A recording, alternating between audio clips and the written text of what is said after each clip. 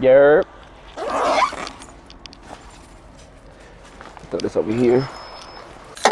I'm excited. It's been just about two years since I've competed. Last competition was outdoor nationals for Long Beach State.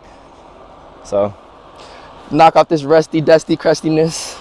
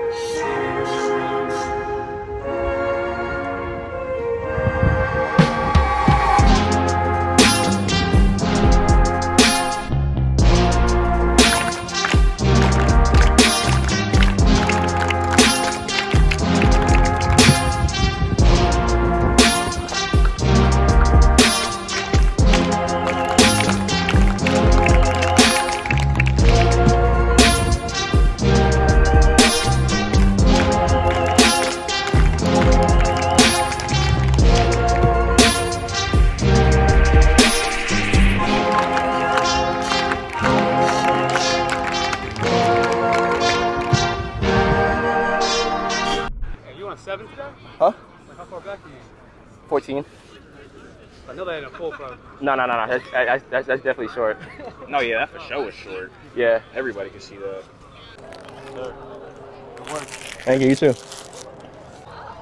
Um, really great first first meet. Honestly, the fact that I could pick up where I where I left off almost two years ago, it's great. Um, what 26-1, 94, 794. It's a good start, especially from a 14. So it's a short approach. So there's a lot in there. Eight plus meters of short in there. So uh, we'll take every jump that we had, break it down, deconstruct it, go back to the lab. What's it like being back on the track?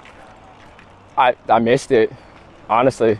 I was devastated when, you know, I was training for 2020 and it got pushed back. I kind of felt a little lost, honestly. But the fact that, you know, we was able to kind of open back up and, and get a season in for 21. Everything's got pushed back a later year, so take what I could get. The fact that I have a facility, kind of blessed to say I got opportunities still opening up for me. So take what we could get.